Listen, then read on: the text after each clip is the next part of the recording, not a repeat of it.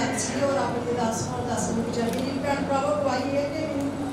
ਪ੍ਰਭੂ ਯਿਸੂ ਮਸੀਹ ਨੇ ਸਾਡੀ ਏਡੀ ਵੱਡੀ ਆਪ ਨੂੰ ਬਚਾ ਕੇ ਰੱਖਿਆ ਨਾ, ਪਰਮੇਸ਼ਰ ਵਿੱਚ ਆਇਆ ਮੇਰੀ ਗਵਾਹੀ ਇਸ ਤਰ੍ਹਾਂ ਕਿ ਮੇਰੀ ਮੰਮੀ ਦਾ ਮਤਲਬ ਕਿ ਨਾ ਬਚਨਾ ਚ ਰਸੋੜੀ ਸੀ ਤੋਂ 15 ਸਾਲ ਪਹਿਲਾਂ। ਮੇਰੀ ਮੈਰਿਜ ਨਹੀਂ ਹੋਈ, ਮੇਰੀ ਮੈਰਿਜ ਨੂੰ 10 ਸਾਲ ਹੋ ਗਏ ਪੂਰੇ। ਤੇ ਮੰਮੀ ਮੇਰੇ ਤੇ ਯਕੀਨ ਸੀਗਾ, ਕਹਿੰਦੀ ਮੈਂ ਆਪਰੇਸ਼ਨ ਨਹੀਂ ਕਰਾਉਣਾ ਹੈਗਾ, ਮੈਨੂੰ ਪ੍ਰਭੂ ਦੇ ਯਕੀਨ ਆ, ਪ੍ਰਭੂ ਇਸ ਤਰ੍ਹਾਂ ਹੀ ਰਸੋੜੀ ਪਸੰਦ ਕਰੂਗਾ। ਹੁਣ ਆਖਰ ਦੇ ਵਿੱਚ ਇਸ ਤਰ੍ਹਾਂ ਹੋਇਆ ਕਿ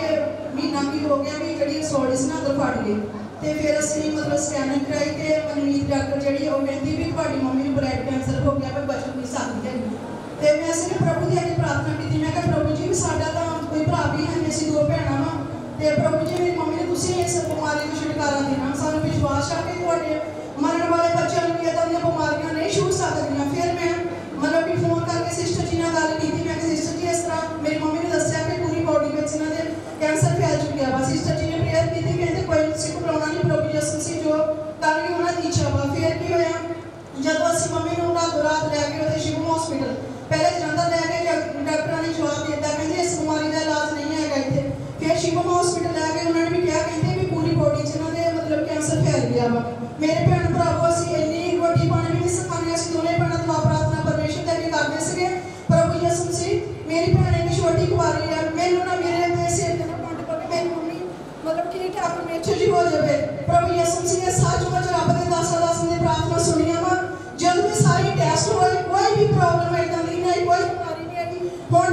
ਦਾ ਆਪਰੇਸ਼ਨ ਬਿਲਕੁਲ ਠੀਕ ਠਾਕ ਹੈ ਆਪਣਾ ਹੋ ਗਿਆ। ਮੈਂ ਪ੍ਰਭੂ ਯਿਸੂ ਸੀ ਦਾ